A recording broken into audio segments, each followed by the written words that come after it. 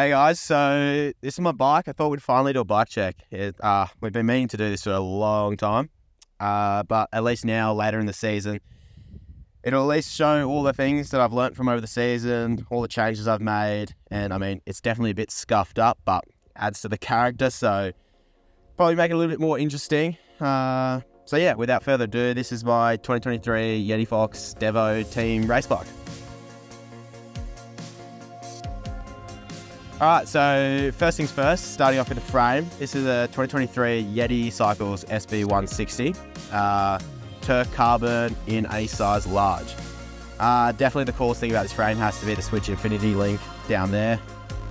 Obviously proprietary to Yeti, so it's nothing like you can ever experience anywhere else, and it is it's incredible.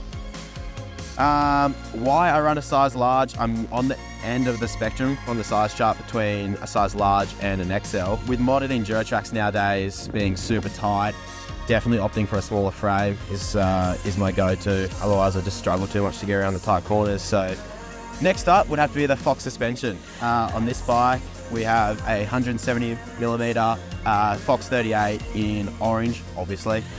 It's in orange, makes you go at least 10% faster, surely. In the back, we have a Fox Float X2 factory again. Uh, regarding all my clickers, that's just way too much information. So if you really want to know, shoot me a DM. Uh, and to round off Fox, we have a 200 millimeter transfer dropper post. So next up would have to be the Shimano componentry. So with this, we got a bit of a bit of a blend between uh, XT and XTR, just kind of throughout the season, just uh, you know bending stuff, wearing stuff out, usual wear. Nothing, nothing major has happened at all. Uh, Shimano Saint pedals, obviously opting for the biggest platform. On these, I actually have the pin fully out and the cleats as tight as you can go. I've wound them all the way in because there is nothing squirrelier than clipping out when you don't want to. Another interesting bit about the setup is I run a short cage derailleur. Once you go short cage, I honestly think you can't go back. I love it so much. Just a lot less, more stressed about hitting it on rocks and yeah, obviously enduro, half the game is getting through the day. Wheels on this bike are DT Swiss uh, EX 1700s. Uh, they're definitely the go-to enduro wheel. From DT Swiss with a 350 hub, you can't go wrong. Bulletproof. As you can see, I've still got, where are we? The stickers from the last race here. I've been running these rims for months now. They're still on there, still going strong. So yeah, loving those. Tires on this bike, uh, obviously Maxxis, the go-to. We have downhill casing, front and back, Assegai, and DHR2 on the back. We do have a Cushcore in there. I just have a Cushcore in the rear. You know, enduro, you've got to uh, make your bike get through the day. So any little thing you can do, massive uh, advantage and the benefits the Cushcore gives to riding is also a massive up. So, and of course, little Cushcore Yeti valves. All right, cockpit on this bike, we have a OneUp bar, 30 mil rise and 35 mil diameter stem. I tried a 50 mil, I've swapped for ages, but I've always ran short stems, so I think it's just what I was used to. So I ended up sticking with that for the season. So this is the OneUp pump.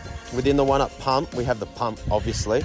Uh, as well, it's got a CO2 head and in here we have a CO2. So if I do get a flat, I'll quickly take the CO2 head off, put it on the CO2, pump that thing up and then finish it off with the pump. And that all lives neatly in there. It's just the little pump, not the big one they have, because uh, I've got the tool in the stem, so um, and so turns out I don't actually have a CO2 in here, which is probably a good find because I thought I did, but I clearly I didn't replace it after I got the flat in Val di Fassa, uh, no, in Leogang. So that's good to know. I'm almost glad we filmed this. Otherwise, I would have had no idea.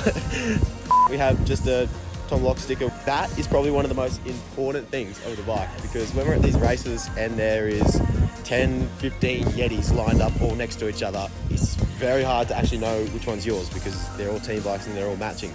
So having those top tube stickers are actually very valuable. Shout out Mark the Mechanic, tuned by yeah, Mad Dog swinging the wrench at the races. Massive shout out to him. If there's any more questions you got about this, feel free to send me a message, but I feel like we've covered as much as we can without going into mega, mega detail, but still showing all the interesting little things. So yeah, that's my bike check. Thanks for listening along. And uh, yeah,